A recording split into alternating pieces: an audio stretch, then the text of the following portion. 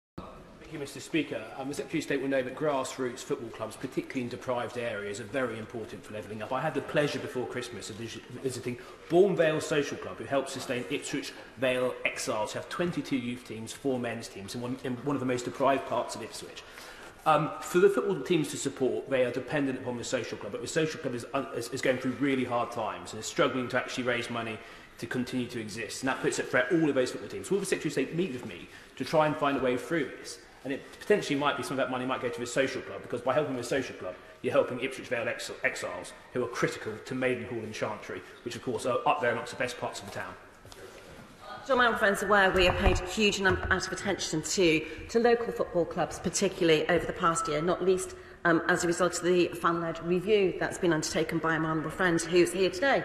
Um, we continue to provide considerable support for hospitality businesses this year. This is part of around 400 billion of direct support for the economy, which has helped to safeguard jobs, businesses and public services. We've also provided an unprecedented 1 billion to ensure the survival of grassroots professional sport and leisure sectors, but I'm happy to meet with him to discuss this further.